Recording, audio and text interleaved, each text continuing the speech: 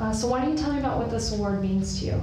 This is award has meant the world to me. It has allowed me the opportunity to meet authors and researchers from all around this nation and to just uh, have an opportunity to dialogue with them and just learn cutting edge science Mm-hmm. from the lit world leading scientists.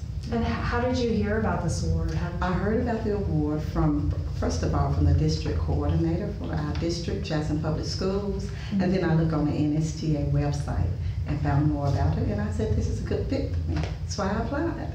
Great. And how has this experience been for you? It has been very empowering, very empowering. Uh, I feel that all the um, things that I have learned and I have gained from attending this conference, I'll be able to share this with my students and empower them and make them more successful and just creative ideas and uh, just a great experience.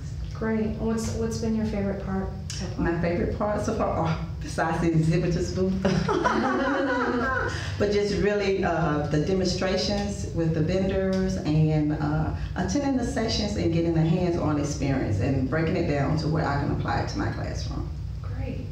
And um, what would you say to potential teachers out there that may want to consider applying for this award? I would tell them to go forward and that they would their lives would be changed forever by attending this conference and being a recipient of the Maitland P. Simmons Award.